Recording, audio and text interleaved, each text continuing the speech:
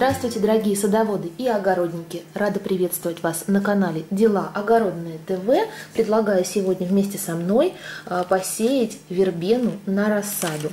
Я выбрала 4 а, сорта. А, очень красивое растение у нас в нашем климате выращивается как однолетняя, но если а, где-то в теплой стране, где не такие холодные а, зимы и морозы, когда все это вымерзает, то в принципе вербену можно выращивать и как многолетнее растение. Но лично для нашей полосы, для Московской области с характерными а, сильными зимними перепадами температур, низкими температурами, это однолетник. И э, сажают, как правило, на рассаду э, вербену где-то э, в феврале, в марте, ну и крайний срок в апреле.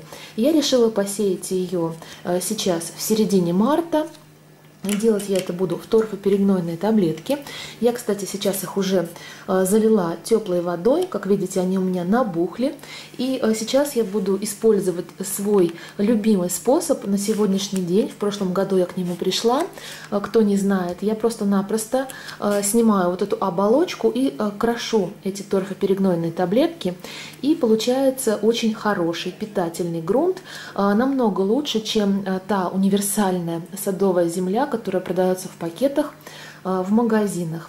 Так что приступаю к тому, что вот эти вот таблетки освобождаю от вот этой тряпочки, которая сдерживает грунт внутри. А, я возьму еще один лоток с крышкой. У меня это просто обычный а, такой лоток из-под творога. Главное, чтобы была крышка, потому что это очень и очень удобно.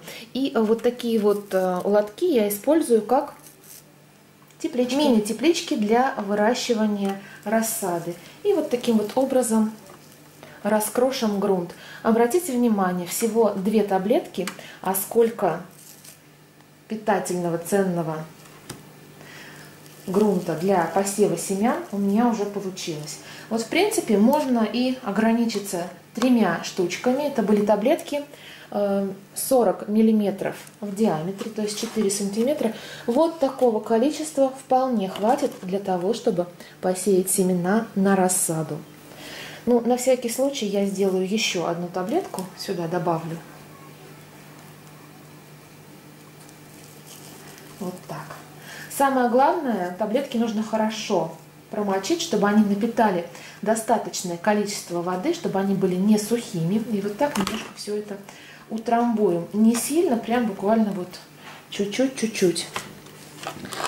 Создаем ровную поверхность, чтобы семена лежали на поверхности, а не проваливались. А вот эти таблетки еще пригодятся, а, потому что семян у меня сегодня много. Отдельно я хочу посеять как раз-таки вот эту смесь А, на самом деле семян а, крайне мало в каждом пакетике. Вот смотрите, вот такой кварц пинк. Здесь всего 5 штучек. А, смесь здесь 0,2 грамма. Вербена гибридная Obsession Burgundy with A. Здесь 10 семян. И последняя красного цвета, тоже 10 семечек. Э, как всегда, я беру какую-нибудь крышку, вскрываю пакет, засыпаю на нее семена. Вот такие у нее семечки. И вы знаете, я буду использовать свой любимый способ.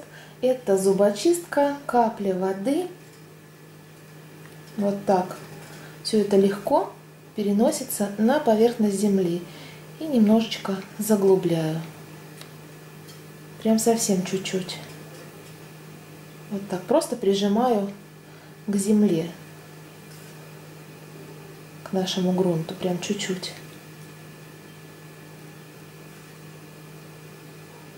Так, раз. И все.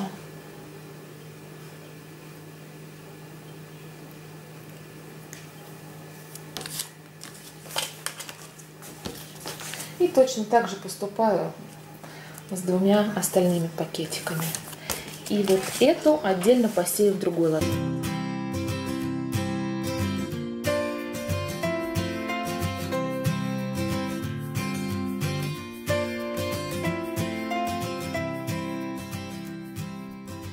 По прошествии двух недель сходы начинают появляться, но вот там, где я сеяла отдельные семена, отдельные сорта, что-то совсем как-то плохо, прям вот единичные всходы. Но я надеюсь, что еще они появятся. А вот здесь вот в лотке, где была вот эта смесь вербен, всходы более дружные. Вот такая разница. Но вот, кстати, на пакете, знаете, что написано? Что всходы появляются через 3-4 недели. А здесь, как видите, в прошествии двух недель вот такие хорошие проростки. А вот здесь вот наоборот, на пакетиках было написано, что всходы появляются через 10-20 дней.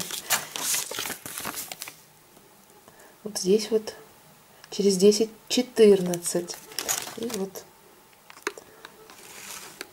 противоположный немного результат, но я все-таки еще подожду. На этом я с вами в этом видео прощаюсь. Желаю удачи, хороших всходов. И увидимся мы с вами уже при пересадке вербены. До свидания, до новых встреч на канале Дела Огородные. Не забывайте подписываться на канал, чтобы не пропускать новые видео.